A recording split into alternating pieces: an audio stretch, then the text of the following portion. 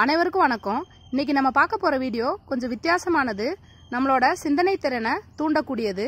அப்படி என்ன வித்தியாசம் அப்படின்னு பார்த்தோம்னா நம்ம ஊர்ல மக்கள் தெருவோர கடைகளில் கிடைக்கக்கூடிய உணவுகளை விரும்பி சாப்பிட்றாங்க. அப்படி விரும்பி சாப்பிட்றப்ப அந்த தெருவோர கடையை ஆரம்பிக்கிறவங்களுக்கு ஒரு நல்ல வெற்றி கிடைக்குது. அந்த வெற்றிக்கு நாலு காரணம் முக்கியமாக இருக்குது அவங்களோட குவாலிட்டி டேஸ்ட் அதுக்கப்புறமா அவங்க அந்த கடையை எப்படி மெயின்டைன் பண்ணுறாங்க நீட்டாக அப்படின்றது சுத்தம் முக்கியம். அதுக்கப்புறம் பார்த்தீங்கன்னா இன்னோவேட்டிவாக ஏதாவது யோசிக்கணும். எல்லாரும் பண்ணுறத பண்ணுறப்ப அந்த கடைக்கு மக்கள் வந்து விரும்பி போக மாட்டாங்க. பெருசாக நமக்கு வெற்றி கிடைக்காது. இந்த நாளும் இருக்கப்ப ஒரு மனுஷன் வந்து நல்லா வந்து வெற்றி அடைஞ்சிடுறாங்க. அப்படி இந்த நாளையும் ஃபுல்ஃபில் பண்ணி சேலத்தில் ஆரம்பிக்கப்பட்ட ஒரு கடை தான் SVS shop egg cooking boys அப்படின்ற கடை. இங்கே வந்து முட்டையை மட்டுமே பிரதானமாக யோசித்து ஆரம்பிக்கப்பட்ட கடை. இப்போ இருக்கக்கூடிய யங்கர் ஜென்ரேஷன் பார்த்தீங்கன்னா எல்லாத்துலேயுமே கொஞ்சம் புதுமையை எதிர்பார்க்குறாங்க. அப்படி கொஞ்சம் வித்தியாசமாக யோசித்து ஆரம்பிக்கப்பட்ட இந்த முட்டை கடை இன்னைக்கு பெரிய அளவில் வெற்றி அடைஞ்சிக்கிட்டு வருது.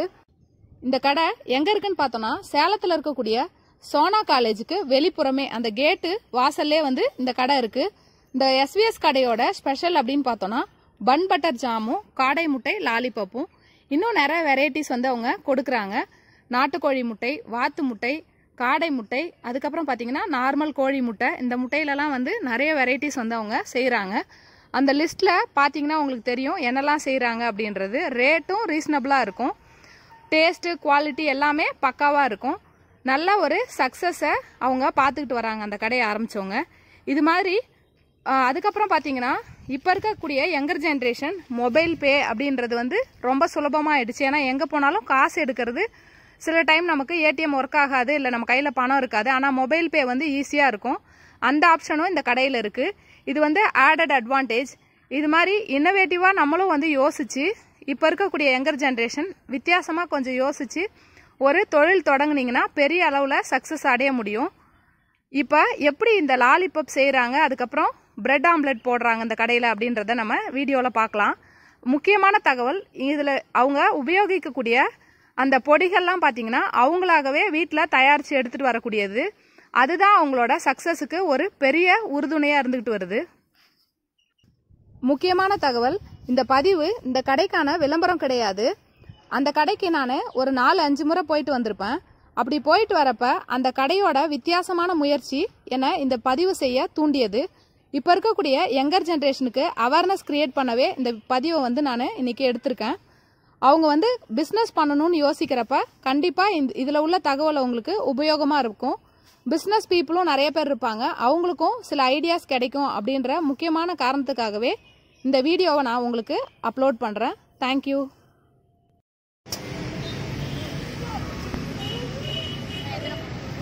ஆறு.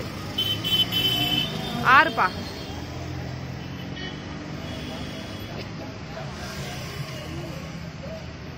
Tschüss.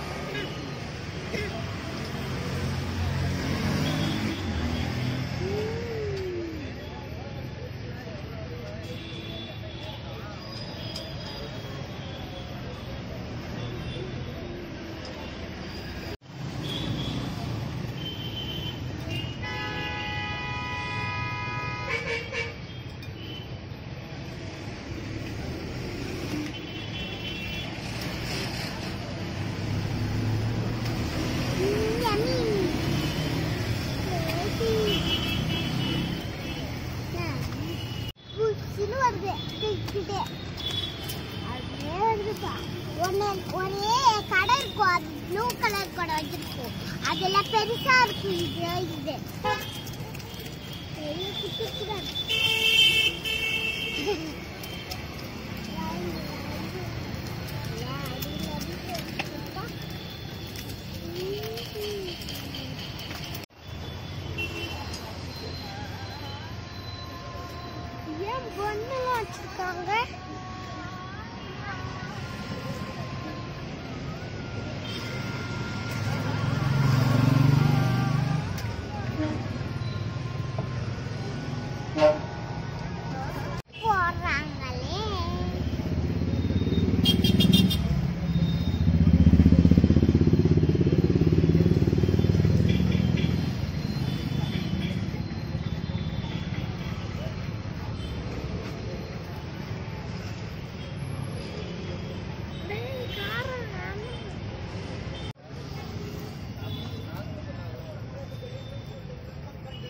போட்டுக்கிட்டே இருக்காங்க ஆமா டேஸ்ட் இல்லையா இது